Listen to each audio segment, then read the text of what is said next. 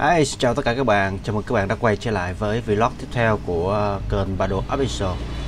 À, Cái kênh này thì à, mình chủ yếu ờ, chia sẻ kinh nghiệm mà trong những năm qua mình làm về lĩnh vực dịch vụ photo in ấn. À, Ở video này mình muốn chia sẻ cho tất cả các bạn, đặc biệt các bạn là mới vào nghề Các bạn mới mở tiệm hoặc là các bạn đang muốn học hỏi về cái, những cái cách làm như thế nào để thiết kế một cái menu cho nó nhanh và cái cách mình tiếp xúc với khách hàng như thế nào.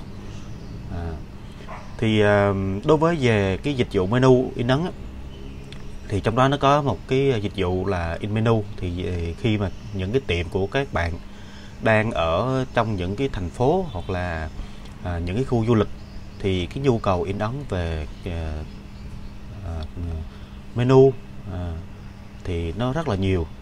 Và mình nghĩ trong à, cái lợi nhuận mà nó đem lại thì cũng rất là khá là ổn định cho các bạn. Nếu các bạn mà có những cái ờ, à, khách hàng thường xuyên về menu thì trước tiên để mà ờ, nhận cái file menu thì chắc chắn thì khách hàng có thể là biết thông tin chúng ta qua nhiều kênh. Các bạn có thể là ờ, đăng lên Facebook hoặc là các visit hoặc là người giới thiệu khách hàng đến cho tất cả các bạn thì đầu tiên thì các bạn phải uh, tiếp xúc với khách hàng à, để nhận cái thông tin cái file của khách hàng. Thì các bạn coi thử cái file đó là cái file như thế nào. Nếu mà khách hàng đã có file rồi thì các bạn uh, xem qua file khách hàng một lần. À, để các bạn biết tổng thể file của khách hàng là bao nhiêu trang à, và in kích thước là bao nhiêu. À, còn nếu mà khách hàng đưa tới cho chúng ta bằng à, những cái tờ giấy mà khách hàng đã kê những cái mục à, những cái mục à, nước một món ăn thì các bạn phải ờ, kiểm tra lại coi thử là những cái thông tin nào mà nó chưa rõ thì các bạn hỏi lại khách hàng. Hoặc là khi mà khách hàng đưa thế này thì lát sau các bạn sẽ nhận sẽ nói khách hàng là để lại cho các bạn cái số điện thoại để các bạn liên hệ khi mà cần thiết hoặc là những cái gì các, các bạn muốn hỏi thì mình sẽ dễ dàng trao đổi với khách hàng hơn. Khi mà các bạn nhận thông tin xong các bạn à, kiểm tra ba file nhận thông tin xong hết. À, khi đó các bạn mới trong đầu các bạn đã có được cái hình dung là cái file đó là như thế nào và các bạn tiến hành báo giá cho khách hàng. À, nó có thể là in kích thước lớn nhỏ một mặt hai mặt và tùy vào cái cái đó tùy vào số lượng file đó và các bạn ừ, báo giá cho khách hàng một cách tốt nhất. Thì để chi mà tại sao phải báo giá khách hàng trước? Tại vì khi làm một cái dịch vụ gì cũng vậy khi mình báo giá trước thì mình sẽ rất là thuận lợi giữa hai bên. À, thuận mua vừa bán. À, khi mà mình báo giá khách hàng thì khách hàng đồng ý ok làm bên mình. À, thì mình sẽ bắt đầu tiến hành làm. À, khi khách hàng khi à, mà khách hàng chấp nhận. Thì sau khi báo giá ha sau khi báo giá xong thì à, các bạn nên là tính toán luôn cái phần à, đối với và những cái menu đơn giản một tờ hai tờ thì những cái thông tin nó ít thì các bạn có thể là các bạn thiết kế phi cho người ta tại vì đối với những cái đó là những thuộc thuộc về những cái gọi là quán nhỏ hoặc là quán cấp thì ờ, các bạn ờ, cứ miễn phí.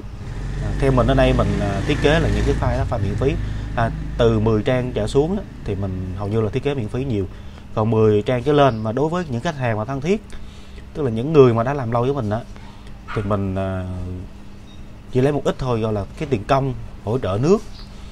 Còn đối với mà khách hàng mới thì bắt buộc mình phải tính luôn cái file tiền file tại các bạn biết là khi một lần á mà nhận mà thiết kế một cái file menu á, mà tầm khoảng à, 20 trang ấy, thì nó phải mất khoảng à, một ngày đến hai ngày để hoàn thiện. Tại vì khi mà các bạn cái lâu nhất là cách chọn hình làm sao cho nó đẹp và đưa hình vào sao cho nó phù hợp và cảm thấy nó nó, nó, nó có à, nó có thẩm mỹ hơn một chút thì mình nghĩ nó, nó rất là mất thời gian. Mình đây chưa nói đến là những cái menu cao cấp thì đây mình chỉ đang nói đến những cái dạng menu mà thường mà mình làm ở những dịch vụ đơn ờ, giản của mình à, hoặc là những cái bạn đang mới nhận những cái cái menu đơn giản. Thì mình à, nghĩ các bạn cũng nên tính một chút cái phần thiết kế. Thì đa số những cái phần thiết kế thì à, hầu như mình thấy ở một số khác nơi hoặc là mình đang nhận thì có thể mình lấy uh, những cái menu đơn giản mà từ 20 trang thì mình lấy khoảng một ờ, uh, 200 ngàn à, để mình à, gọi là tiền à, phí phí thiết kế. Còn đối với những cái dạng mà cao cấp hơn thì các bạn có thể là nhận nhận cao hơn cái đó là tùy theo trường hợp. Cái này vừa nhận giống như vừa nhận vừa hỗ trợ. Thì à, sau khi báo giá xong khách hàng đồng ý thì các bạn nên nhận cọc. Tại vì đây là cái giống như là một cái lòng tin để mình ấy đối với những khách hàng mới à, các đối với khách hàng mới các bạn phải nhận nhận đặt cọc à, để sau này mất công khi mà các bạn làm ra xong là các bạn à, khỏi à, sợ người ta ờ, không làm nữa hay là gì đó trong một quá trình gì đó các bạn nên nhận đặt cọc tiếp theo là sau đó khi mà nhận đặt cọc xong là các bạn tiến hành xử lý file. Xử lý file nếu mà file khách hàng đã có sẵn à, đã có sẵn rồi thì các bạn vào các bạn căn chỉnh sao cho nó phù hợp ha cho nó phù hợp với cái cái chỗ in của các bạn có thể người ta sẽ canh nó hơi lệch một xíu hay là cái gì đó các bạn phải kiểm tra lại. Xong hết. Rồi các bạn in. Còn mà cái kha file của ờ, khách hàng á, mà là ở một cái file dạng ghi tay hoặc là đánh máy thôi ra những cái hạng mục nước đồ xong thì các bạn nếu mà khách hàng đã có cái file đánh máy rồi thì các bạn cóp vào ha. Các bạn ờ, các bạn lưu vào máy. Còn những cái file khách hàng mà đang ghi tay á, thì các bạn phải bắt đầu các bạn ngồi và soạn ra theo cái từng bột ví dụ nước uống rồi ra nước uống à, thức ăn ra thức ăn. À, những cái loại hạng mục ví dụ như hải sản à, món chay gì đó các bạn sẽ loạn ra phò rõ, ờ, soạn ra từng mục hết riêng để sau này chúng ta sẽ xử lý cái, cái, cái thông tin uh, xử lý file rất là nhanh. Tiếp đến là các bạn sẽ thiết kế background. Sẽ thiết kế uh, cái background á thì khi mà thiết kế background xong nè các bạn hình dung cái tưởng cái cái cái, cái background tức là cái nền của menu. Sau khi mà các bạn làm xong sơ qua một cái nền menu xong là các bạn phải đưa cái chữ test vào để cho nó coi thử nó phù hợp như thế nào. Và trước khi đi từ đưa chữ test vào một trang thử thì các bạn nên in ra để mình test coi thử là cái cỡ chữ cái cỡ chữ là à, à, khách nó có thể đọc được hay không. À, và nó cái, cái cái cỡ chữ của nó, nó phù hợp hay không. À, các bạn nên test vào chữ. Sau khi mà các bạn à, à, thiết kế file xong hết à, bắt đầu các bạn gửi một cái bản mẫu ờ, cho khách hàng. Thì có thể các bạn gửi qua Zalo hoặc là email hoặc là qua Skype. Sau khi các bạn gửi không các bạn alo cho khách hàng để khách hàng à, kiểm tra lại một lần nữa. À, kiểm tra một lần.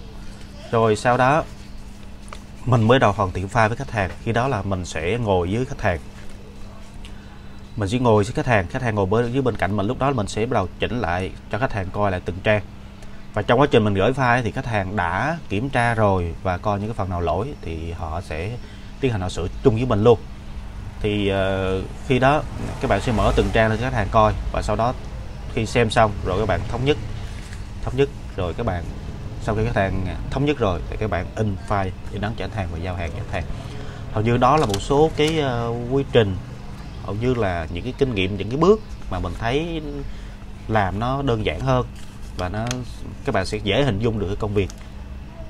Bây giờ mình à, sẽ chia sẻ cho tất cả các bạn một cái file menu mà mình mới vừa à, thiết kế xong cho khách hàng để các bạn có, có thể là hình dung được những cái bước như hồi nãy. Thì mình làm cái cách nào nha. Nào bây giờ chúng ta cùng vào màn hình. Đây đây là một cái file à, background mà mình đã làm rồi. Thì các bạn sẽ thấy như thế này.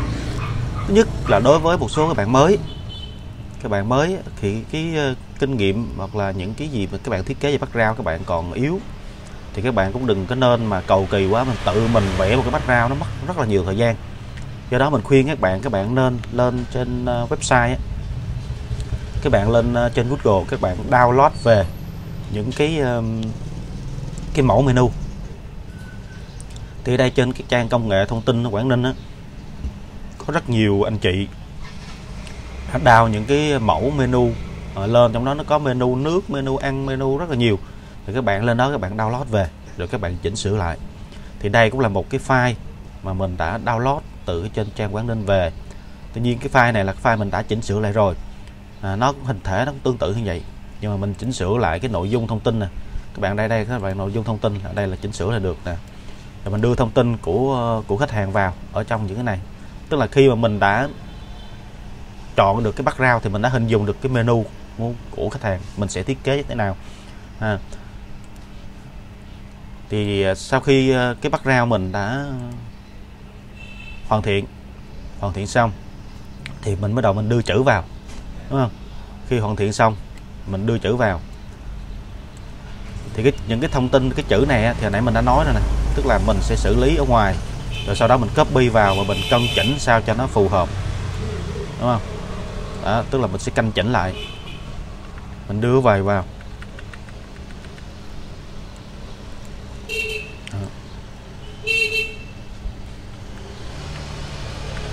Nếu các bạn mà muốn cho nó ờ, cái cái ờ, cái này cho nó thẳng thẳng hàng hơn thì các bạn có thể tạo những cái đường giống để các bạn canh kích thước làm sao là các bạn sẽ làm việc trong cái đường giống đó thôi.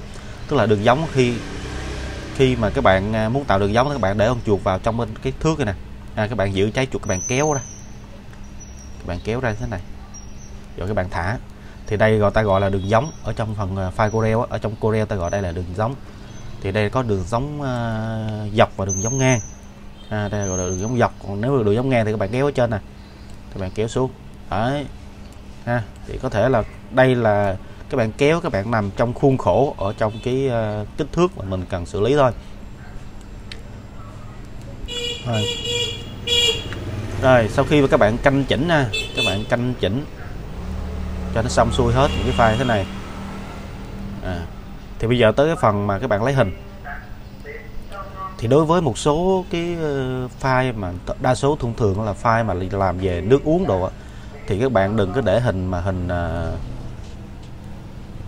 các bạn đừng có để hình mà hình dạng hình bắt rau tức là cái hình mà nó có cái nền nó nhìn nó rất là xấu. Do đó mình hay sử dụng những cái nền mà gọi là PNG à, thì các, những cái video trước mình đã nói là file PNG thế nào rồi thì các bạn lên mạng các bạn download về các bạn tìm phần hình file PNG hoặc là các bạn nào đã có một chút về cái ờ, cái ờ, cắt nền. Có cái video ờ, về Corel mình đã chỉ các bạn cái cách cắt nền rồi. Thì các bạn chịu khó và các bạn cắt nền và các bạn đưa hình vào. Đấy thì các bạn sẽ thấy là khi mà mình đưa cái hình vào như thế này thì nó nhìn nó cái menu nó rất là sang đúng không? Tức là nó không có cái nền nó không có cái nền nhìn nó rất là sang. Do đó các bạn cứ uh, chịu uh, cái phần file hình này nè là cái file mà mất rất là nhiều thời gian. Do đó là các bạn uh, tìm hình xong các bạn chọn những cái file png à, đối với là mail nước thì nhìn cái một cái tờ menu thì hai các bạn khi, khi mà tổng thể thế này thì các bạn nhìn thấy menu nó rất là bắt mắt đúng không? Nó rất là dễ chịu đó. Thì uh, các bạn sẽ thấy thế này nè. Còn đối với ờ, một số cái món thức ăn đây là cái menu tổng thể mà mình đã đã thiết kế cho khách hàng xong tức là 33 trang. Bây giờ mình sẽ review từng trang cho các bạn xem nha. Thì các bạn sẽ thấy đây menu nước mình sử dụng uh, những cái hình mà uh, không có nền để mà trang trí. Đây. Tức là khi các bạn thấy là đây nè. À, đây là tên món ăn đây là cái khu vực đây là cái khu vực của cái ờ, gọi là cái nhóm món. Còn đây là tên món. À, đây là tên món. Thì có một số có một số cái thế này. Khi á, mà khách hàng không quá cầu kỳ hoặc là khách hàng đưa thức ăn mà từ cái món ăn của khách hàng vào thì các bạn nên để lưu cái phần background. Tại vì khi mà các bạn cắt cái phần background rất là lâu và mất thời gian và do đó là khách hàng cũng không có nhu cầu về uh, gọi là cắt. Tức là đây là đây là những cái món ăn mà của nhà hàng. Của nhà hàng người ta chụp hình ta đưa qua. Thì mình không thể nào mà mình ngồi mình ờ, ờ, mình ngồi cắt gì chỉ mất thời gian. Tại đây là những cái menu mình nghĩ là đơn giản nó không cầu kỳ. Còn nếu mà những cái menu mà nó thật sự là thiết kế để giống như là độc quyền cho cái quán đó luôn thì ngoài cái giá thành menu thì các bạn lấy cái phần thiết kế giá thiết kế rất là cao rồi thì các bạn phải uh, bắt đầu mới tiến hành cắt những cái hình này ra làm sao cho nó phù hợp cho nó đẹp. Hoặc là mình sẽ lúc khi mà mình đưa hình vào á mình cũng đã nói với khách hàng là nên là đưa view background về vào như thế này. Thì mình à, thấy là để mình các bạn mình khuyên các bạn nên để những cái hình này thì mình làm cho nó nó mau. Nên đây các bạn sẽ thấy những phần món ăn thì mình sử dụng cái hình background thế này mình không cắt. À, nên các bạn cũng thấy là khi mình nhìn tổng thể menu nó cũng sang chứ không đến nỗi nào mà nó nó thiếu thẩm mỹ ha bạn sẽ thấy thế này. Đây. Và có những phần có những phần là mình uh, tìm hình trên mạng mà mình cắt bắt ra như thế này. Thì để cho nó đẹp tức là trong những cái quá trình phần nào trống nhiều quá thì các bạn nên đưa những cái hình lớn hơn để mà che lấp. Đấy. đây các bạn sẽ thấy. Tức là 33 trang mình có một số phần là mình sử dụng hình PNG một số phần là mình sử dụng của ờ, nhà hàng luôn. Cho đó là mình sẽ để hết toàn toàn bộ. À, đấy.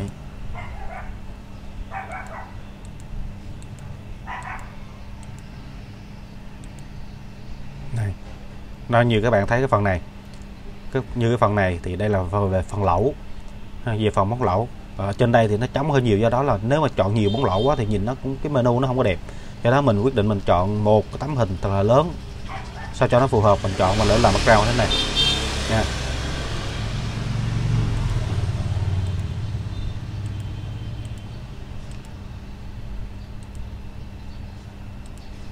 Nè đó là um,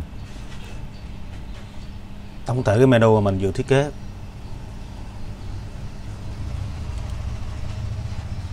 Rồi về thiết kế menu thì mình có những cái ờ, chút kinh nghiệm mình muốn chia sẻ với các bạn và cái cách mình làm là nó như thế đó. Nó có khoảng, khoảng cách mình nhận thì khoảng 8 bước như nãy mình đã chia sẻ tất cả các bạn. À, mình hy vọng ở video này thì các bạn mà đặc biệt là mình chỉ dành à, cho tất cả các bạn mới còn các bạn nhiều kinh nghiệm rồi thì mình không không chia sẻ video này để cho các bạn đó.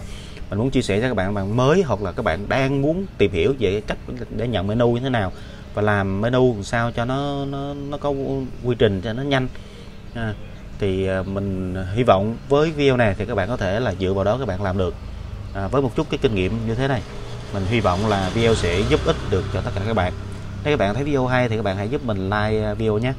Và các bạn nào mới vừa à, ghé qua kênh Bado Official thì các bạn hãy giúp mình đăng ký kênh để ủng hộ kênh à, Bado Official.